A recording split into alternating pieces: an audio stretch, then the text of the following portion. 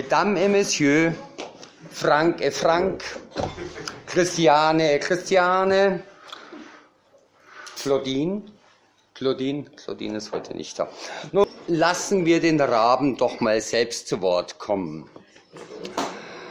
Der Rabe denkt ganz brav, kratzt sich hinterm Haupt, ob's ihm wohl einer glaubt. Er wäre so gern ein guter Pornograf. Der allerbeste von den Besten wollte er sein, darum schreibt er eine ewig lange Weile von schönster Liebe, Zeil um Zeile. Nach hundert Seiten schließt er und sagt, fein. Und nun zum Test, ein bisschen arg vermess, schickt erst der kleinen Baroness. Sie liest und stöhnt und laut und leis. Doch schon auf Seite zwei kommt sie ganz heiß. Ach, der Dichter denkt bei sich, wozu nur all die Zeilen, konnt sie nicht bis hinten weilen. Der Adel ist ganz und gar liederlich. Teilweise macht er auch literarische Ausflüge, der Rabe. Ähm, auch wenn er der anderen Autoren gegenüber ausgesprochen kritisch ist. Sah der Rab das Röslein stehen, ja, nervt war auf der Heiden. Ist schon recht, war morgen schön. Wollt sogleich vorübergehen, mocht's wohl etwas leiden. Röslein jauchzte zarte Tön auf der Heiden. Röslein sprach, dich breche ich. Rab, ich bin Feminist. Röslein bin feucht vom Morgentau. Rab, du brichst mich nicht. Röslein, so ein Mist, komm, bin deine Frau. Da nun sein Vorsatz bricht. Er liebte sie im Vorübergehen. Von hint und vorn taten es die beiden. Glücklich stach sie ihn zurück, im Liegen und im Stehen, küsste ihre Haut von Seiden, ergaben sich dem Glück auf der Heiden. Auf ihre Freud herniedersehen, dachten an die Rezeption. Beide wollten es gern haben. Feminismus muss man verstehen, dies lassen, das wäre Hohn. Taten sich aneinander laben auf der Heiden.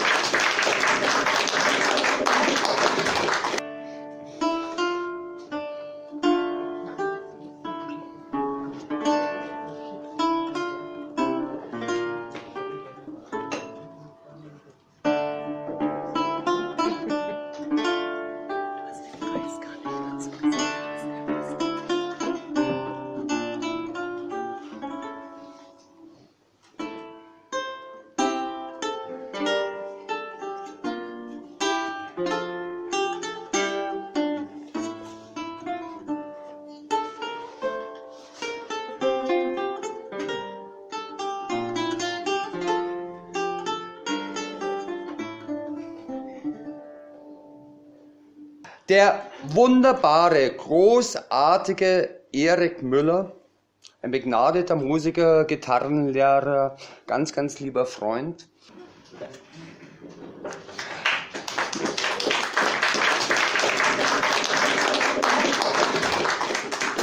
Natürlich hat unser Rab äh, auch äh, geistige Bedürfnisse und nicht nur das, auch geistliche Bedürfnisse. Und deswegen treibt er auch an das Spiel. Zum Beispiel hier.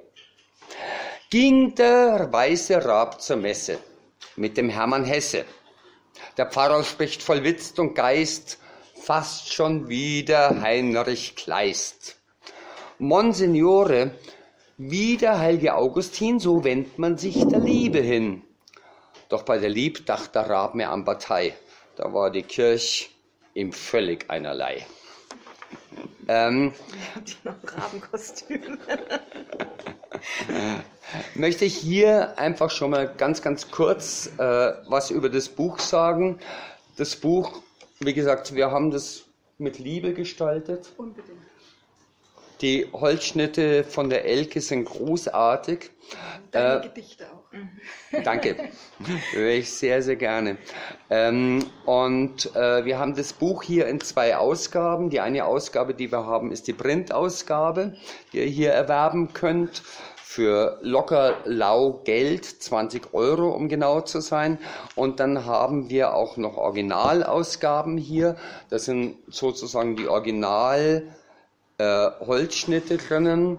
Und äh, zudem ist auch noch drin jedes Gedicht einzeln mit der Hand getippt auf einer Gabriele 2000.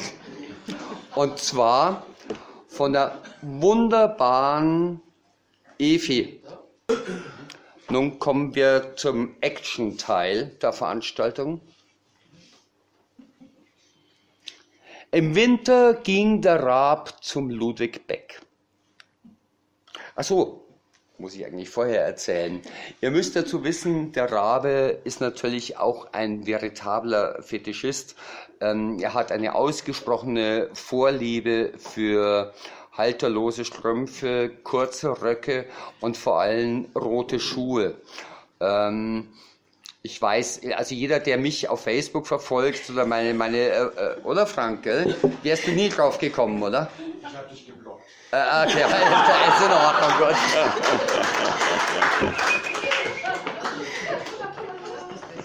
Nein, aber das ist, das ist wirklich eine des Rabens Leidenschaften. Äh, Im Winter ging der Rab zum Ludwig Beck, genau der hinterm Rathauseck, fragte da für seine geliebte Tolle nach Strümpfen aus zarter Wolle. Verneinten es die der Liebelosen, nun trägt sie wieder Hosen. Nun ist der Rabe ratlos gar, von Erotik nun ganz bar. Er wird so gerne drunter fassen und am Kleid die Nassen, jetzt muss er's lassen. Möge der Herr sich wieder einen Sommer fassen. Ich habe ja gesagt, das ist der Action-Teil der Veranstaltung. Der Kostümwechsel.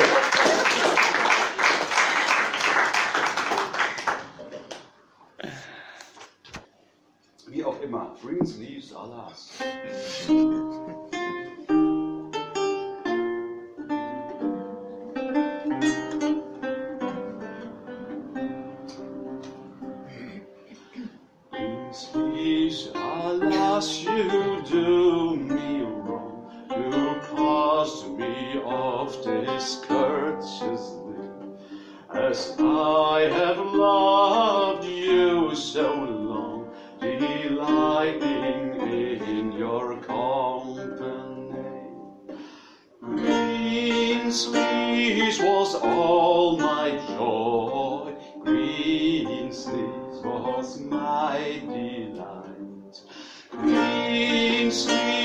my heart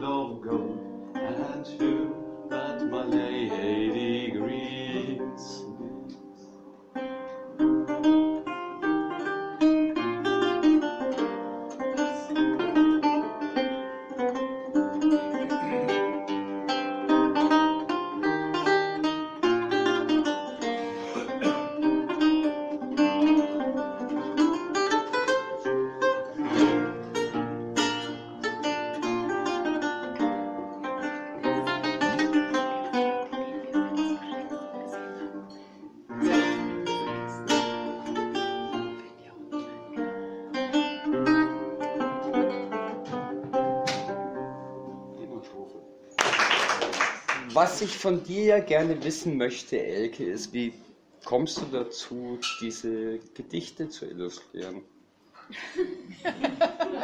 äh, ganz unverfänglich mal gefragt so.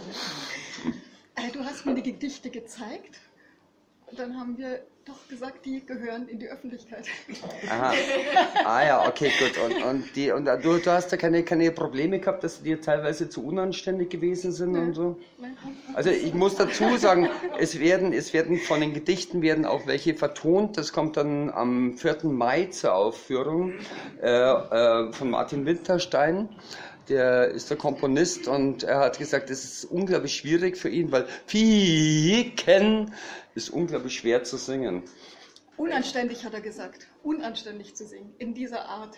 In dieser Art, Ja. gell? Also diese Steigerung und so weiter und so fort muss man irgendwie reinbringen. Ja, das ist schon. Aber ich, ich freue mich, dass du es gemacht hast. Ich freue mich, dass du es gemacht hast. Ähm, du hast es in Holz geschnitten und das ist insofern interessant, weil du dich damit ja auch wieder dem Konrad Gessner angenähert hast. Also da schließt sich ja auch dieser Kreis. Ja. Geniale, geniale Illustration, genial. Ich kann, anders kann ich es nicht ausdrücken. Toll.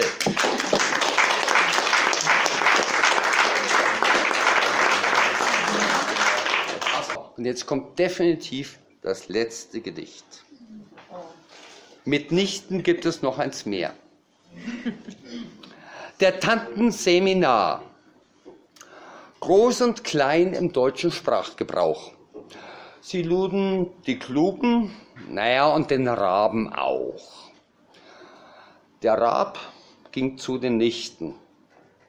Mitnichten, beinichten, unternichten, aufnichten. Da war es der Rabe glücklich. Versäumte das Seminar. Ich danke euch ganz herzlich.